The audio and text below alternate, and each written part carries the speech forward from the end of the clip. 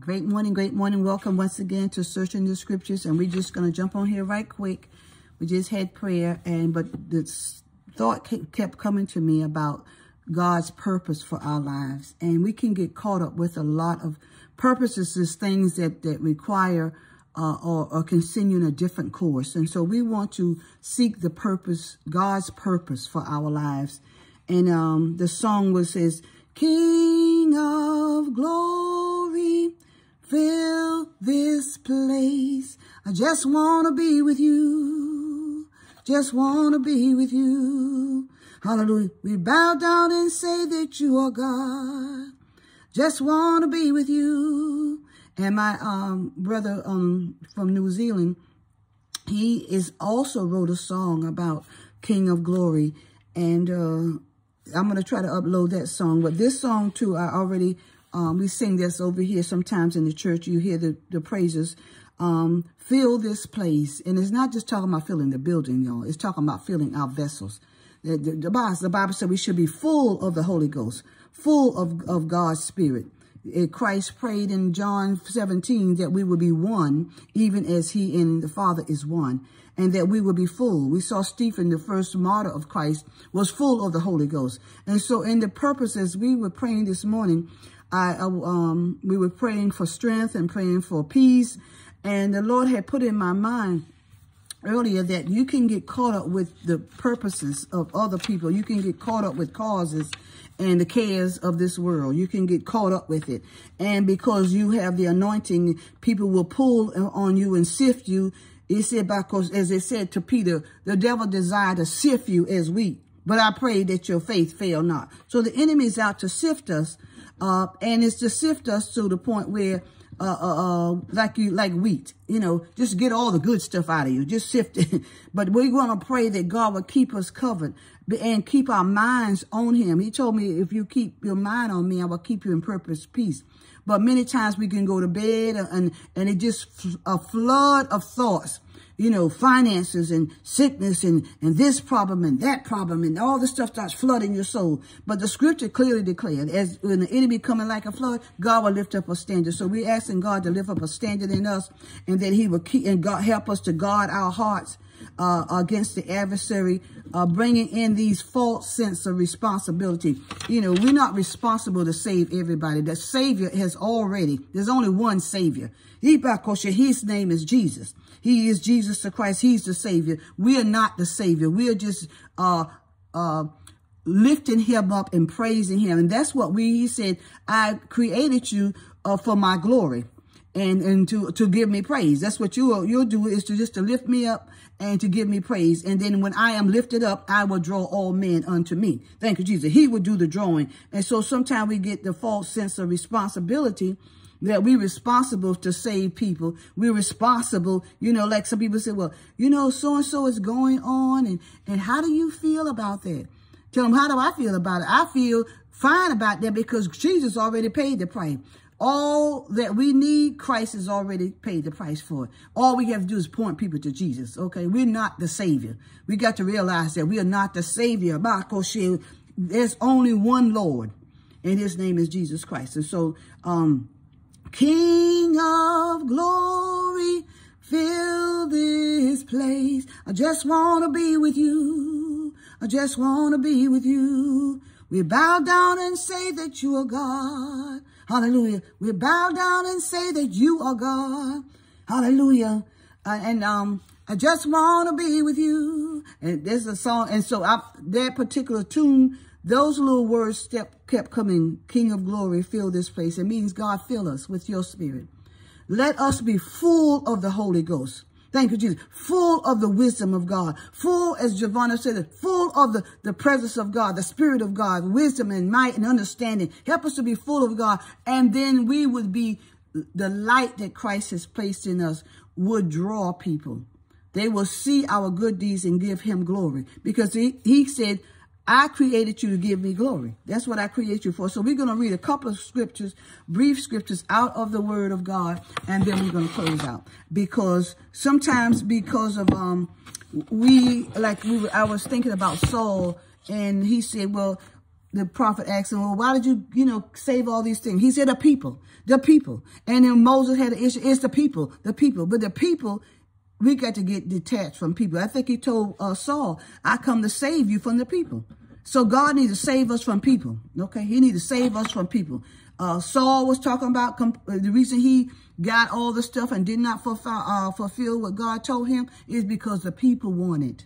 Okay. And uh, Moses didn't go into the promised land because the people got him upset. Okay. It's the people. We got to get people. Uh, we got to get people out of our spirit and get God inside of us. That's why he said, guard your heart.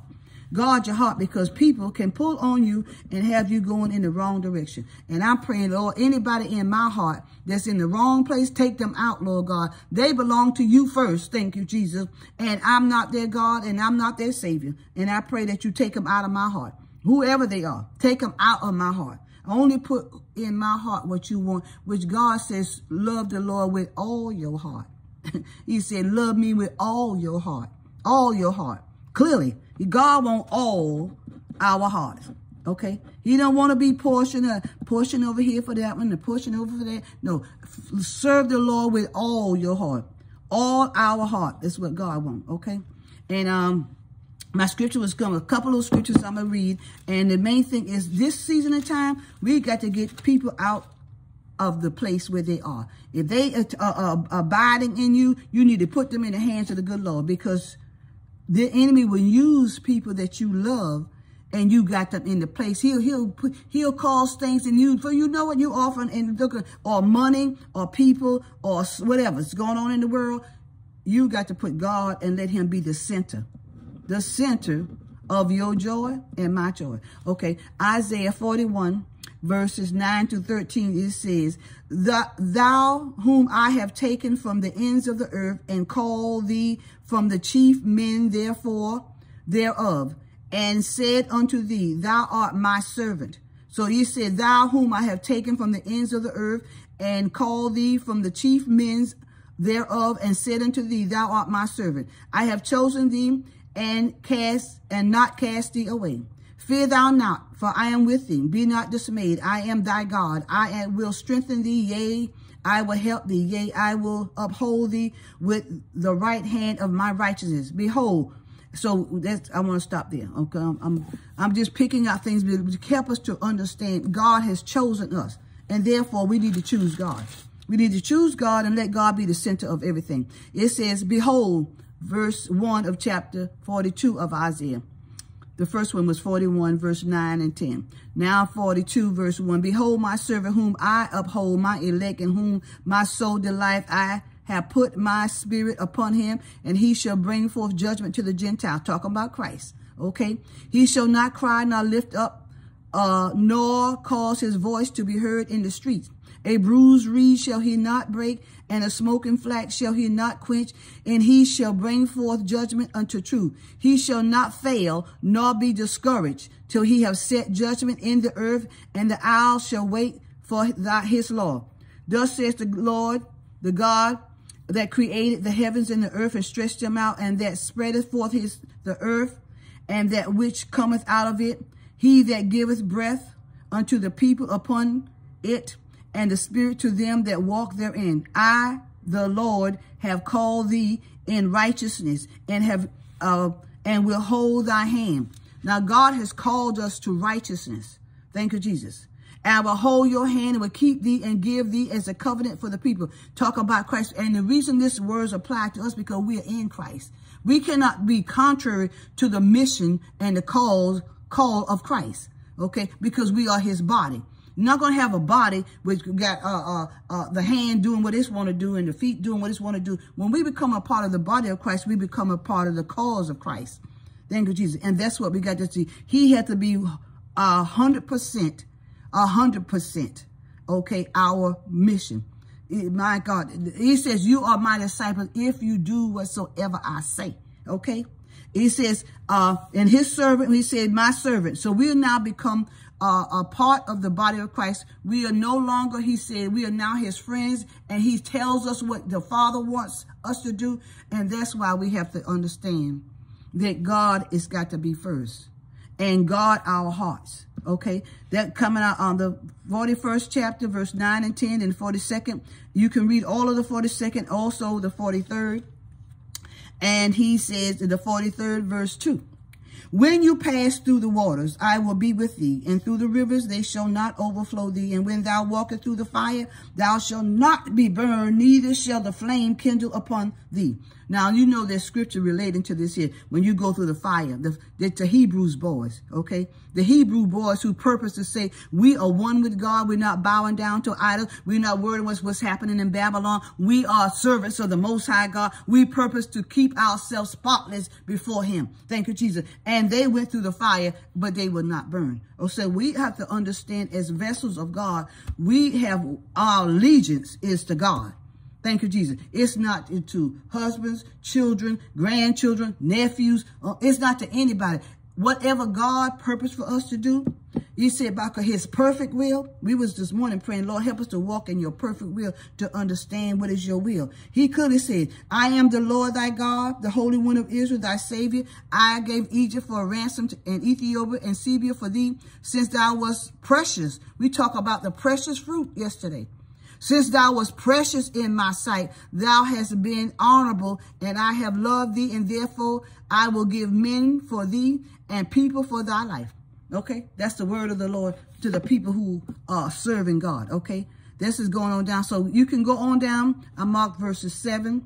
Everyone that is called by my name, for I have created him for my glory. I have formed him, yea, I have made him. So we have been made and formed for the glory of God.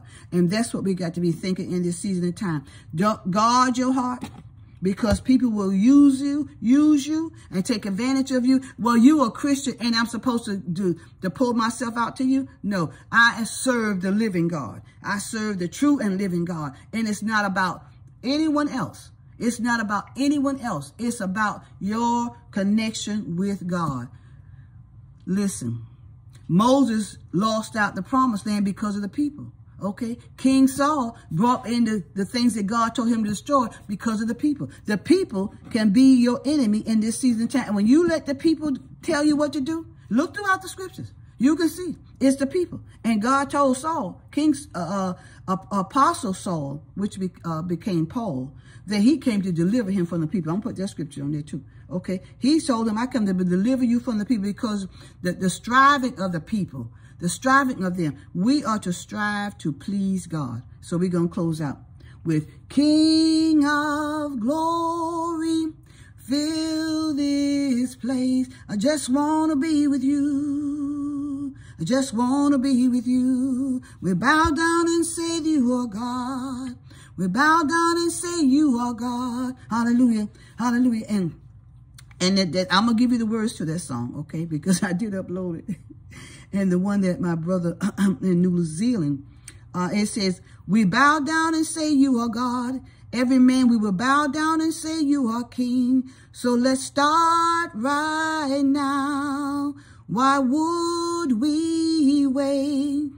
King of glory, fill this place. I just want to be with you. If we're going to be with God, we're going to have to start right now, okay? And I'm going to give it to you, this song. I'm going to give it to you. And the one that my brother um from New Zealand, I'm going to upload his too. Okay? He sent to me through Messenger, all the way from New Zealand. And he talk about the King of Glory too. God is looking for people who is 100% okay for him. Clearly except you forsake mother, father, sister, brother, children, and everything else, and you're not worthy to be his disciple. He said, you're not worthy. And I want to be worthy to be his disciple. I want to be worthy to be a part of his tabernacle. The tabernacle of God is not going to have all these other thoughts. They're going to 100% be centered on God. That's why he's going to be his abode. Thank you, Jesus. And that's what I said, Lord, King of glory, fill this place. I just want to be with you. We got to walk with him and talk with him. We can't let, I have grandchildren. I have great-grandchildren. I have a daughter-in-law. I have sisters. I have brother. None of them. Not even my, he said, even deny yourself. That's what it is. King of glory, fill this place. place. I just want to be with you. If we don't want to be with God 100%, we can forget about the rapture. Okay, we can forget about that because he only taken those, he, he said those who will serve me with their whole heart, whole heart. And what part of that is got room for other people? A whole heart means 100%, okay? You ain't gonna be uh, 99 and then one fourth of it. No, you got every empty yourselves and let Christ pour into you. We're gonna close out. Father, we thank and praise you for this reminder that we have to wholeheartedly serve you, wholeheartedly be one with you, as Jesus said in John 17. They will be one with you and the Lord as they are one. Help us, oh God, not to be fragment, a little bit over here, a little bit over there, all the cares of this world, our heart being tugged. Help us, God, in the name of Jesus, oh God, to submit ourselves 100% to you. To understand, Lord God, when we leave this earth, Hallelujah. We are going to be able to stand with you. Even in Revelation said you're going to give us a new name. And nobody going to know it but you and the person who received the name. And not even our children going to know our new name. You have purposeful to make yourself a tabernacle. A tabernacle of praise that you will 100% inhabit. Not with thoughts over here and things over there. We pray that we will submit ourselves to you 100%. And that not your permissive will, but your perfect will be done in our life. As we say yes to your will, your way, and your word. In Jesus' name we pray and count it done. So this is what's on my mind. King of glory, fill this place. I just want to be with you. Just want to be with you. We bow down and say you are God. We bow down and say you are Lord. Hallelujah. Just want to, I won't get all the words, y'all. But anyway, those uh, uh, verses came to me.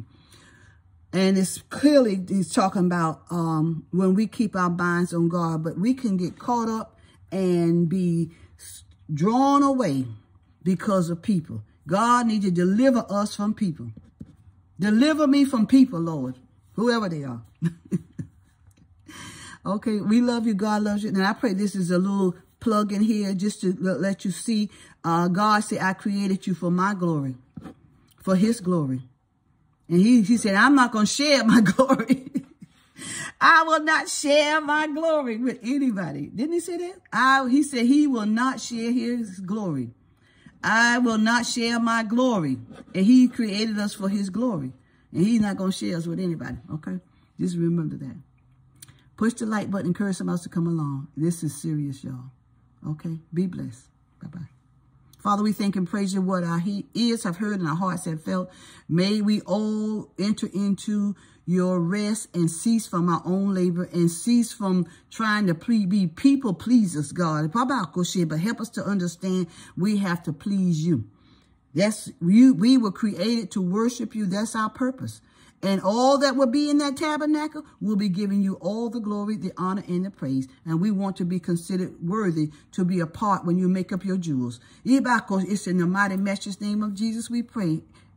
Where we empty our heart of anything that's not like you, anything that is not of you. Thank God that your perfect will be done in us and through us. It's in Jesus' name we pray and count it done. Amen. Push the like button, encourage us to come along. Be blessed. Okay.